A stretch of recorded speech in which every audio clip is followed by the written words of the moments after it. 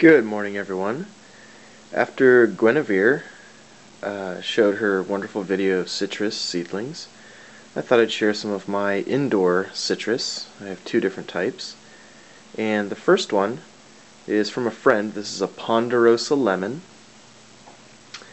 It was grown from a cutting, and I added some cuttings of jade plant, which grew huge because of all the fertilizer I used uh, for the citrus.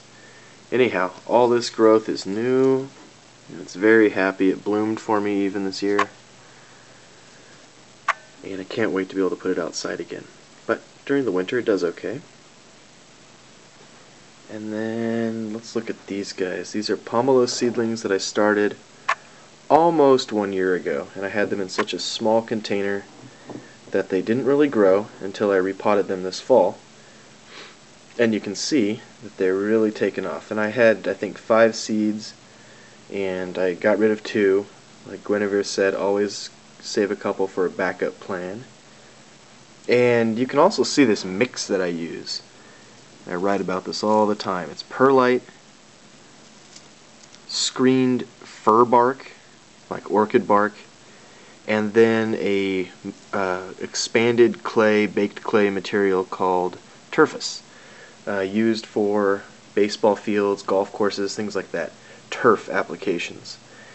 Anyhow, it holds a lot of moisture, it doesn't collapse, virtually no fungus gnats you'll ever see, superior drainage, superior root health, really healthy looking green plants. And you can see I have a pretty good collection of house plants, you know, Hoyas that I've rooted, Jades, Portulacaria afras,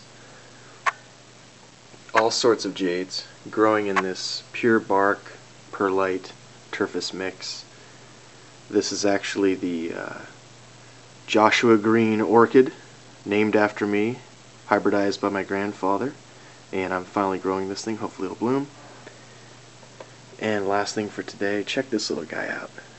This is a blooming jade, Crassula ovata, with nice little pink flowers. Second year it's bloomed for me. Anyhow, that's all for today.